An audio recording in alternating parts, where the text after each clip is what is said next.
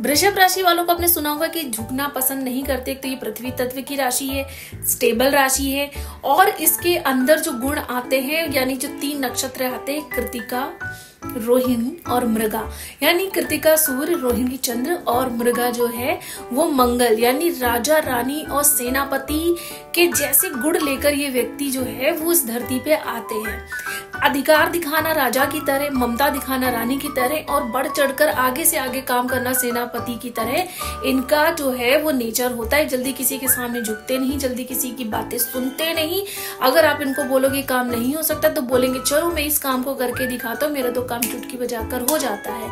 तो इनके अंदर जो गुण है, वो इतने ज़्यादा स्ट्रॉन्ग नक्षत्रों के गुण हैं, इतने ज़्यादा स्ट्रॉन्ग ग्रहों के गुण हैं कि ये जल्दी किसी के सामने झुकते नहीं, जल्दी किसी की सुनते नहीं।